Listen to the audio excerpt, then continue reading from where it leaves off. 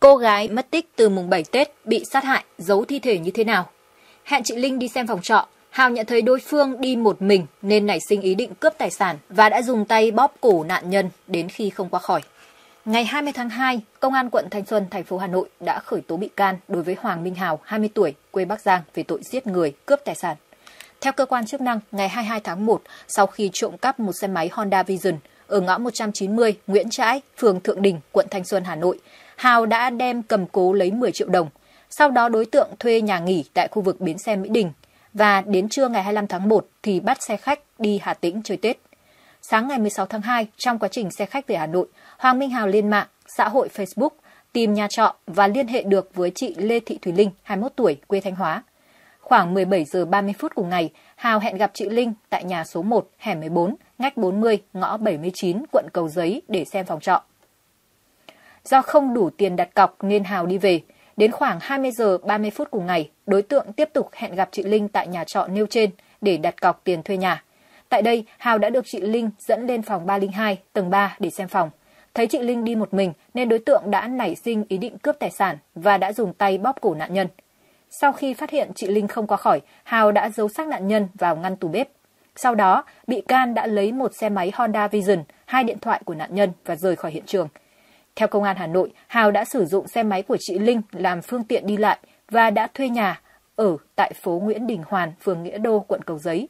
Đến trưa ngày 19 tháng 12 thì cơ quan cảnh sát điều tra phát hiện bắt giữ Hào tại phường Minh Khai, quận Bắc Từ Liêm, Hà Nội. Căn cứ kết quả điều tra ban đầu, cơ quan cảnh sát điều tra công an quận Thanh Xuân đã khởi tố vụ án, ra quyết định trưng cầu Viện Pháp y Hà Nội giám định pháp y tử thi, trưng cầu phòng kỹ thuật giám định hình sự ADN của Hào, đồng thời chuyển toàn bộ hồ sơ vụ án đến văn phòng cơ quan cảnh sát điều tra công an thành phố để thụ lý điều tra theo thẩm quyền. Ước mơ giang dở của cô gái 21 tuổi bị sát hại, nghỉ học đi làm, mong xây nhà cho bố. Ngày 20 tháng 2, gia đình ông Lê Xuân Sáu, 41 tuổi, xã Luận Thành, huyện Thường Xuân, tỉnh Thanh Hóa, đón thi thể con gái là Lê Thị Thùy Linh, 21 tuổi về hỏa táng. Chị Linh được gia đình trình báo mất tích từ hôm mùng 7 Tết sau khi rời nhà trọ ở phường Mỹ Đình 1, quận Nam Từ Liêm, Hà Nội. Ba ngày sau, thi thể nạn nhân được tìm thấy tại một nhà trọ trên địa bàn quận Cầu Giấy. Hành trình xuyên đêm tìm con gái mất tích, học hết lớp 11 vì hoàn cảnh gia đình, Linh lên Hà Nội tìm việc làm, sau đó quản lý một số nhà trọ. Sau kỳ nghỉ Tết, ngày 15 tháng 2, cô và bạn cùng phòng bắt xe từ Thanh Hóa lên Hà Nội, quay trở lại công việc. Hôm sau, cô mặc áo sơ mi trắng, chân váy màu xám, đi xe máy hiệu Vision màu đỏ, nói với người thân dẫn khách xem phòng trọ. Tối cùng ngày, gia đình mất liên lạc với cô. Trước đó, Linh vẫn nhắn tin và liên lạc với mọi người. Sau 19 giờ ngày 16 tháng 2, chúng tôi không thể liên lạc với Linh, điện thoại thông báo thuê bao. Chị Lê Thị Oanh, cô ruột nạn nhân kể lại. Đến 23 giờ ngày 17 tháng 2, LA, bạn cùng phòng của Linh, báo tin hơn một ngày không liên lạc được với cô gái. Thời điểm này gia đình nỗ lực gọi cho Linh xong cũng không được. Lo có chuyện chẳng lành, dạng sáng ngày 18 tháng 2, ông Sáu và một vài người thân vượt 200 km từ Thường Xuân ra Hà Nội tìm kiếm con gái.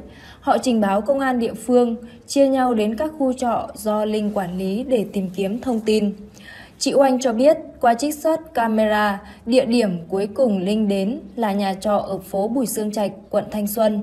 Camera ghi nhận lúc 18 giờ 35 phút ngày 16 tháng 2. Cô gái mặc áo khoác bên ngoài màu hồng.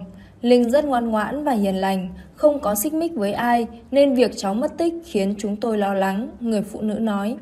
Đến khoảng 12 giờ 30 phút ngày 19 tháng 2, Công an thành phố Hà Nội bắt giữ đối tượng nghi vấn Hoàng Minh Hào, 20 tuổi, quê ở Bắc Giang và phát hiện thi thể chị Linh tại một khu trọ ở phường Yên Hòa, quận Cầu Giấy. Tại cơ quan công an, bước đầu đối tượng đã khai nhận hành vi phạm tội của mình. Ngày 20 tháng 2, cơ quan cảnh sát điều tra công an thành phố Hà Nội đã khởi tố bị can đối với Hào về tội giết người và cướp tài sản. Giám đốc Công an thành phố Hà Nội chỉ đạo các đơn vị nghiệp vụ tập trung đấu tranh làm rõ nguyên nhân, động cơ, mục đích gây án, làm rõ hành vi phạm tội của đối tượng để xử lý nghiêm theo quy định của pháp luật. Ước mơ giang dở Ông Trần Văn Anh, Chủ tịch Ủy ban Nhân dân xã Luận Thành, huyện Thường Xuân, tỉnh Thanh Hóa cho biết gia đình nạn nhân có hoàn cảnh khó khăn. Mẹ của Linh mất cách đây 4 năm do tai nạn giao thông. Người bố trở thành lao động chính, nhưng thường xuyên đau ốm, không đủ sức gánh vác cả gia đình với ba người con gái. Hôm nay, gia đình cháu đã đưa thi thể về làm thủ tục hỏa táng, ông Anh nói, và cho biết chính quyền sở tại đã tới động viên, thăm hỏi gia đình nạn nhân. Linh là con gái lớn trong nhà, sau có hai em gái 7 tuổi và 14 tuổi. Thương bố và các em, cô học hết lớp 11 rồi lên Hà Nội tìm việc. Chị Oanh kể, ước mơ của cháu gái là kiếm đủ tiền, xây nhà cho bố và các em, làm thêm 2-3 năm nữa, mua chiếc ô tô cũ giá rẻ để bố có phương tiện đi lại. Nhưng mọi ước mơ của cô gái 21 tuổi đã bị dập tắt bởi hành vi tàn độc của kẻ thù ác. Chúng tôi đã rất sốc và đau buồn khi hay tin Linh bị sát hại. Mong pháp luật trừng trị nghiêm minh đối tượng, đòi lại công bằng cho cháu, chị Oanh đau buồn nói. Vì sao nghi phạm sát hại cô gái xinh đẹp bị bắt trước khi phát hiện thi thể nạn nhân? Bị bắt giữ liên quan đến hành vi trộm cắp tài sản, Hoàng Minh Hào đã khai sát hại cô gái trẻ 21 tuổi mất tích hôm 7 Tết rồi giấu thi thể trong phòng trọ. Ngày 20 tháng 2, lãnh đạo Công an thành phố Hà Nội cho biết, cơ quan cảnh sát điều tra Công an thành phố Hà Nội đã khởi tố bị can đối với Hoàng Minh Hào, 20 tuổi, quê tại Bắc Giang về tội giết người và cướp tài sản. Hào là nghi phạm sát hại chị LTTL, 21 tuổi, ở quận Nam Từ Liêm, thành phố Hà Nội. Về manh mối phá án, lãnh đạo Công an thành phố Hà Nội cho biết Hào bị Công an quận Thanh Xuân Hà Nội bắt giữ liên quan đến hành vi trộm cắp tài sản. Sau đó bằng biện pháp nghiệp vụ, các điều tra viên đã đấu tranh buộc Hào phải khai ra hành vi giết người, cướp tài sản thực hiện trước đó mà nạn nhân là chị L. Ngoài bị điều tra về hành vi giết người và cướp tài sản, cơ quan điều tra còn điều tra thêm về hành vi hiếp dâm đối với nghi phạm Hào.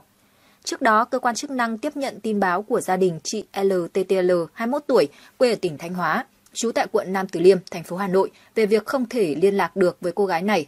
Chị L làm quản lý tại một số chung cư mini, phòng trọ. Chị L rời nhà từ chiều ngày 16 tháng 2, tức là mùng 7 Tết Giáp Thìn. Khi đi, chị L mặc áo sơ mi trắng, chân váy màu xám, đi xe máy Vision màu đỏ. Khoảng 12 giờ 30 phút ngày 19 tháng 2, bằng các biện pháp nghiệp vụ, lực lượng chức năng đã bắt giữ HMH, 20 tuổi, quê tỉnh Bắc Giang, là nghi phạm sát hại cô gái trẻ và phát hiện thi thể chị L tại một khu trọ thuộc phường Yên Hòa, quận Cầu Giấy. Bước đầu, nghi phạm đã khai nhận hành vi phạm tội của mình. Liên quan vụ án cô gái 21 tuổi bị sát hại tại một chung cư mini thuộc địa bàn quận Cầu Giấy, thành phố Hà Nội, ngày 20 tháng 2, cơ quan cảnh sát điều tra công an thành phố Hà Nội đã khởi tố bị can đối với Hoàng Minh Hào, 20 tuổi, quê Bắc Giang về tội giết người và cướp tài sản. Công an xác định Hào là nghi phạm sát hại cô gái 21 tuổi, quê Thanh Hóa, trú tại quận Nam Từ Liêm, thành phố Hà Nội. Lãnh đạo công an thành phố Hà Nội cho biết, nghi phạm Hào bị công an quận Thanh Xuân bắt giữ liên quan hành vi trộm cắp tài sản. Từ hành vi trộm cắp tài sản của Hào, công an đã đấu tranh, buộc nghi phạm phải khai nhận hành vi giết người, cướp tài sản thực hiện trước đó. Theo lãnh đạo công an thành phố Hà Nội, trong vụ án trên, cơ quan chức năng còn điều tra Hoàng Minh Hào về hành vi hiếp dâm. Hiện gia đình nạn nhân đã đưa thi thể cô gái xấu số về quê lo hậu sự. Ông Trần Văn Anh, Chủ tịch Ủy ban dân xã Luận Thành, huyện Thường Xuân, tỉnh Thanh Hóa cho biết, gia đình nạn nhân có hoàn cảnh khó khăn, mẹ cô gái mất cách đây khoảng 4 năm, người bố thường hay đau ốm, không đủ sức gánh vác cả gia đình nên nhiều năm nay nạn nhân lên Hà Nội đi làm để giúp bố nuôi hai em ăn học. Sau khi mẹ mất, cô gái xin nghỉ học ra Hà Nội làm quản lý phòng trọ, cho thuê thì xảy ra sự việc. Trước đó khoảng 23 giờ ngày 17 tháng 2, tức mùng 8 Tết, gia đình nhận được cuộc gọi từ Hà Nội thông báo nạn nhân mất tích. Sau khi có mặt tại Hà Nội, người thân đã tiến hành tìm kiếm đồng thời trình báo công an phường Mỹ Đình 1, quận Nam Từ Liêm. Qua trích xuất camera, địa điểm cuối cùng ghi nhận được hình ảnh của cô gái 21 tuổi là khu vực nhà cho thuê trên phố Bùi Sương Trạch, quận Thanh Xuân. Thời điểm nạn nhân đi ra ngoài là 18 giờ 35 phút ngày 16 tháng 2, sau đó mất liên lạc. Đến chiều ngày 19 tháng 2, thi thể cô gái được phát hiện tại một chung cư mini 7 tầng nằm sâu trong ngõ 79 phố Cầu Giấy. Hiện vụ án đang tiếp tục được làm rõ.